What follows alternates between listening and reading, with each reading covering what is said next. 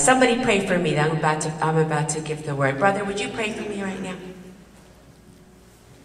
Father, in the name of Jesus, we thank you for the opportunity that you give us tonight to be gathering in this place to worship you and to give you the honor and everything that you deserve to receive from the people that you have transformed.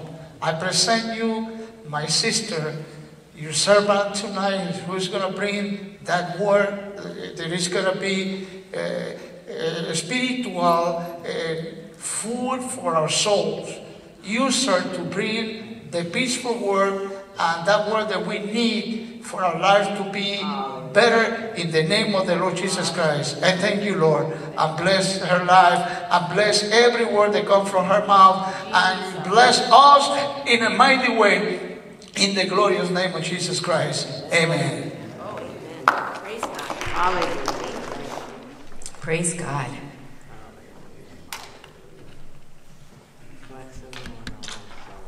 So um, a few weeks ago, Pastor had um, mentioned that he'd be away and, if, and asked if I would speak tonight. And you know, when he asked me, this doesn't always happen, but immediately the word hope jumped up in my heart. And I said, Oh, I already know what I'm going to speak to them on. I'm going to pray on it, but I think I'm going to talk to them about hope. So tonight, um, I entitled this, A Door of Hope in the Valley of Troubling. Okay? I'm going to read a passage to you that's from the book of Hosea. Now, the book of Hosea, this is found in the Old Testament between Daniel and Amos. It's a small book. Hosea, he was a prophet to Israel. His name actually means salvation. And during Hosea's time, Israel enjoyed a temporary season of economic prosperity and political peace. But then the nation started to deteriorate uh, rapidly and it was headed towards destruction. I can just stop right there. And does that sound a little familiar to where we are today? it might. If you're familiar with the book of Hosea, you'll know that God commanded Hosea to take an adulterous wife, her name was Gomer, in order to illustrate Israel's spiritual infidelity to God. The prophecy of Hosea was God's last attempt to call the Israelites to repent of their persistent idolatry and wickedness before giving them over to the full judgment of their sins. In this story, Gomer ran after other men while Israel ran after other gods, right? Gomer commits physical adultery while Israel commits spiritual adultery.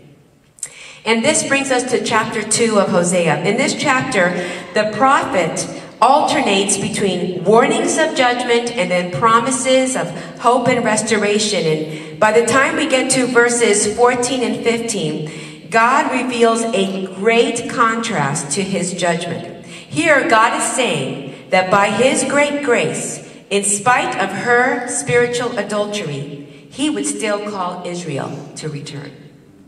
Here's what it says in Hosea 2 14 and 15. It says, I am now going to allure her, talking about Israel, God's people. I will lead her into the desert and speak tenderly to her. There I will give her back her vineyards, and I will make the valley of Achor a door of hope. There she will sing as in the days of her youth, as in the day she came up out of Israel. In this passage, when God said, I will lead her into the desert, he is recalling when he brought his people out of Egypt into the desert, remember? To give them his law, and he was leading them where? To the promised land, right? In this passage, he is saying he would again bring Israel out of her, out of the Egypt of her sin, into a new desert, where he would guide Israel, teach Israel, and restore Israel.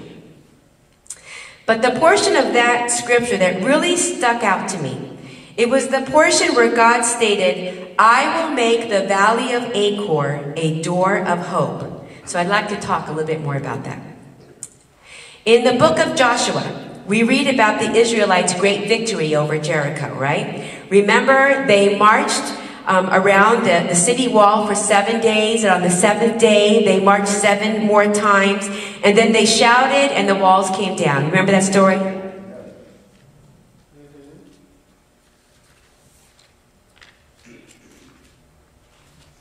I'm having trouble turning my page. Here we go. Well, in Joshua 6:17, they were told this: "The city and all that is in it are to be devoted to the Lord."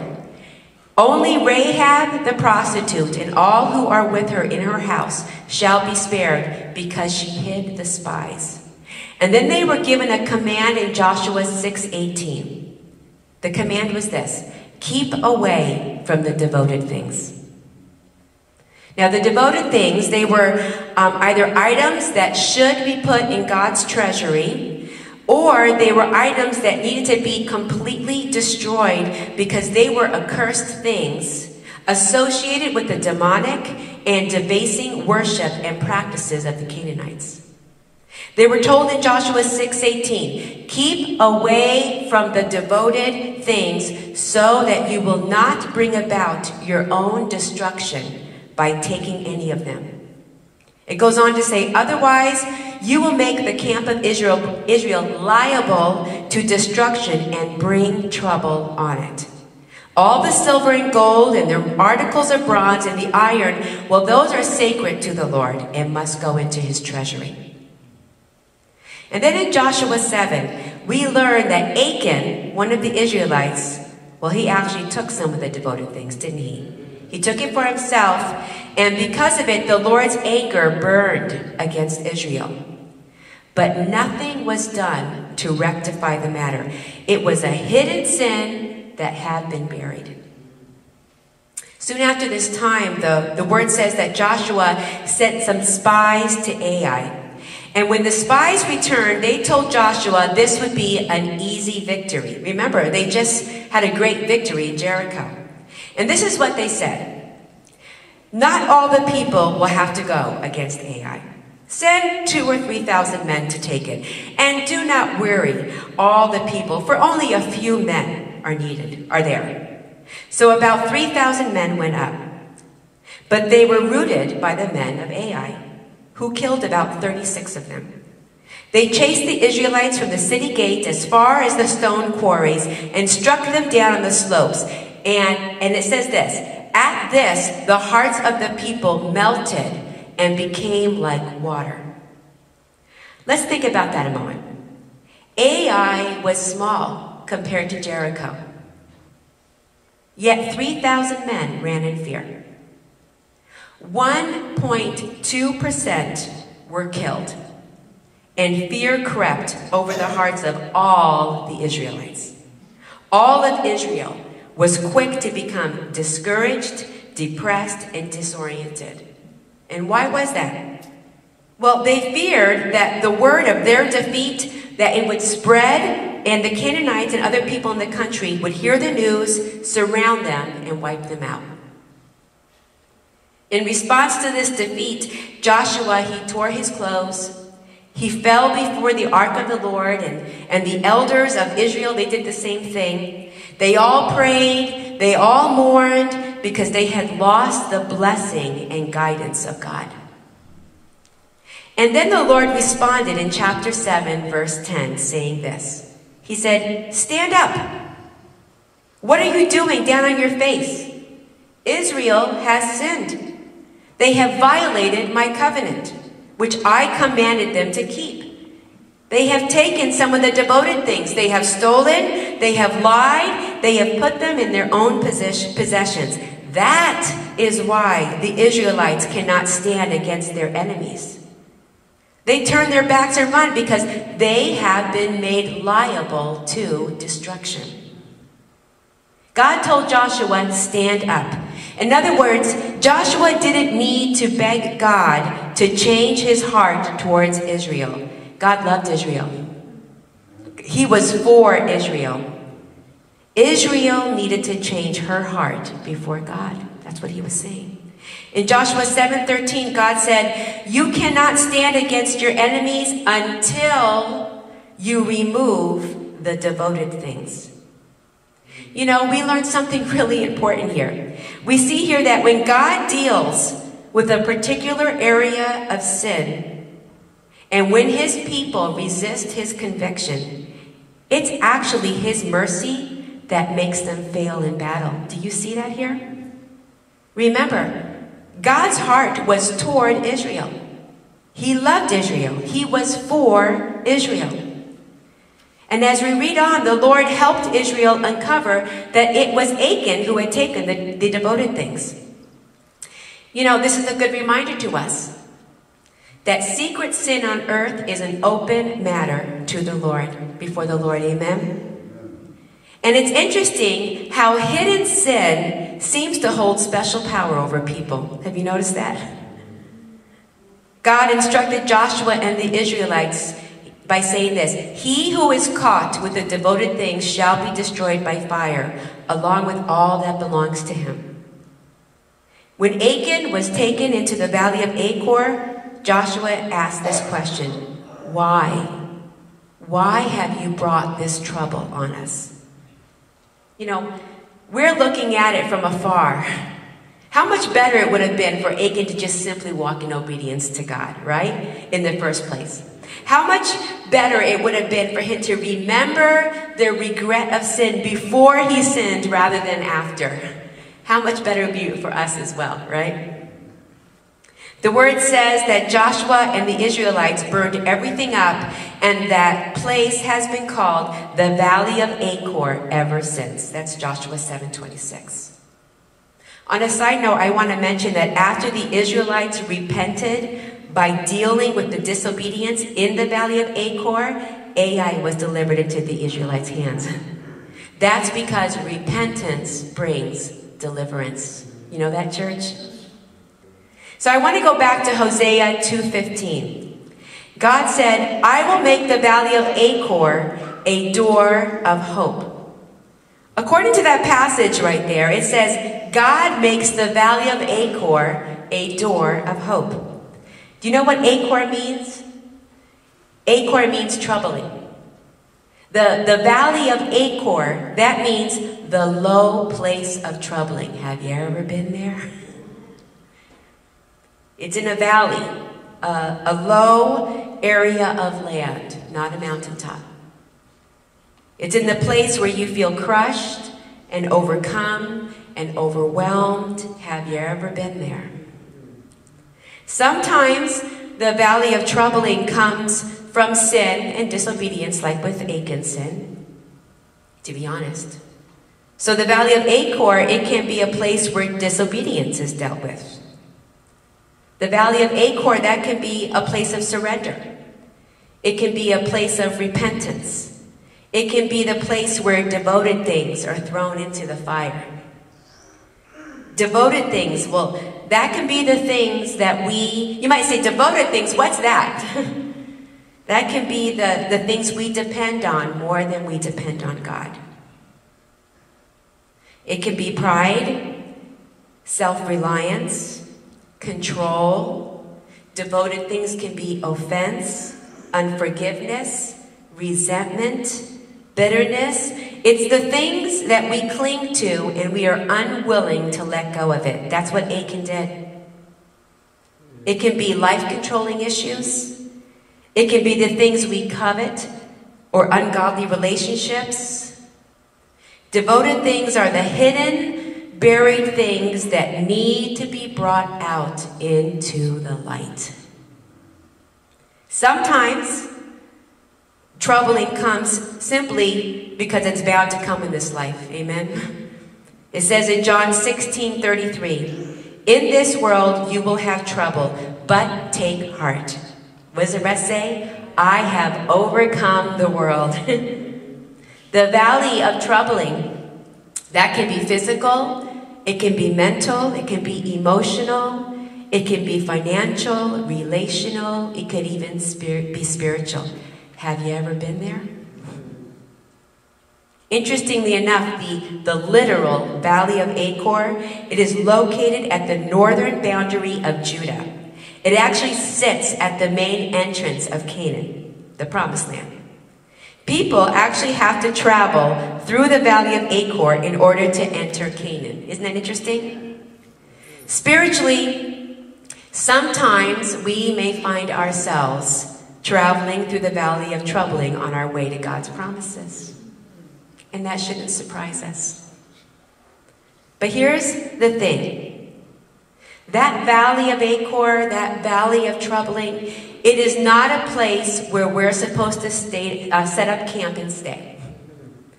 We don't build a home there. When we find ourselves there, we need to remember that it, it's simply a place we're traveling through. You know, the enemy, he will try to convince you that this valley is your new home. Have you ever heard his voice? In fact, I want to tell you, when hopelessness sets in, that's a good indicator that the enemy wants you to agree with his real estate offer. The enemy, he doesn't want us to see the door of hope that is available to us. It's right there. The awesome thing is that whatever the trouble is, God has put a door there, a door of hope. It says so right in His Word. And and this is not a hope like the world uses the word hope. This is not, I hope God will stay true to his promises. It's, I know God will stay true to his promises because it's impossible for him to not be faithful. Amen, church? The, the door of hope, well, this refers to dreams, to God given dreams. And you know, church, we have a God, he doesn't pour. He's a limitless God. He owns the cattle on a thousand hills, and as my husband reminds me all the time, he owns the hills too. all right? He's a God, he doesn't measure, he just pours. So we can raise our hope. We can raise our expectation and we can agree with hope because our expectation is not in an outcome. Our expectation is in the God of an outcome and He's a good God. He's a good God whose heart is turned toward us. His heart is toward, turned toward you. Did you know that? He's a God who loves us. He loves you. He's for us. He is for you. Can you just say that? God is for me. He loves me. His heart is turned toward me. Romans 15 13 says this May the God of hope fill you with all joy and peace as you trust in him, so that you may overflow with hope by the power of the Holy Spirit. This is who our God is. He is the God of hope and joy and peace. The scripture is saying that as we put our trust in him, we are filled with joy and peace and we overflow with hope. What a good God. What a good Father. What a great inheritance. Amen? Amen. When we've accepted Jesus as our Lord and Savior and we've repented of our sin, that means we've turned from that sin. Then it, the word says that we actually become the children of God. And as children of God, we have a great inheritance. So whatever, whatever trouble God's people experience, no matter what it is, they can rejoice with hope because God has put a door there. Revelation 3:20. It says this is Jesus speaking. He says, "Here I am. I stand at the door and knock. If anyone hears my voice and opens the door, I will come in and eat with him and he with me." Sometimes people think that Jesus is talking to the unbelievers, but he's not there. He's talking to the church. This is not an invitation for repent for uh, um, salvation. That's not what this behold. I stand at the door and knock. This is an invitation for intimate table fellowship with the King of Kings and the Lord of the Lords. Isn't that awesome? Not only does Jesus stand at the door, he actually is the door of hope. What, what else does the word say about hope? And, and I'm hoping to fill your hope tank right now. I hope I'm doing that. This is what the word says. Those who hope in me will not be disappointed. Isaiah 49 23.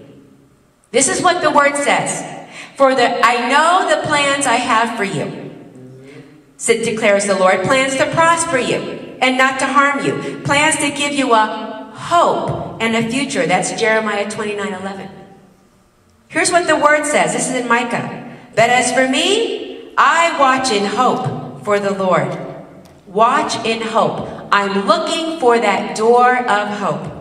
I wait for God, my Savior. My God will hear me. That's Micah 7 7. Or how about Hebrews 10 23? Let us hold unswer- unswervingly to the hope we profess, for he who promised is faithful. Amen? So the valley of Achor is actually a symbol of better things to come. It becomes a place of rejoicing and singing because there's hope in the certainty of God's nature that doesn't change, His character that doesn't change, and His promises that do not change. Amen, church? And it's a reminder to us that in the valley of troubling, we can bring everything to God and He can actually make it a springboard to victory. Amen? God is so good. So in light of this, I'm going to reread Hosea 2.15. There, in the place of obedience, in the place of surrender, in the place where you throw the devoted things into the fire, let it go. I will give her, meaning I will restore to her her vineyards, her blessings, and her joy. I, who here needs restored joy? and I will make the valley of Achor, the low place of troubling, a door of hope, an opportunity to seize my promises. And there she will sing, meaning there will be great joy and rejoicing. Amen? Praise the Lord. Praise the Lord.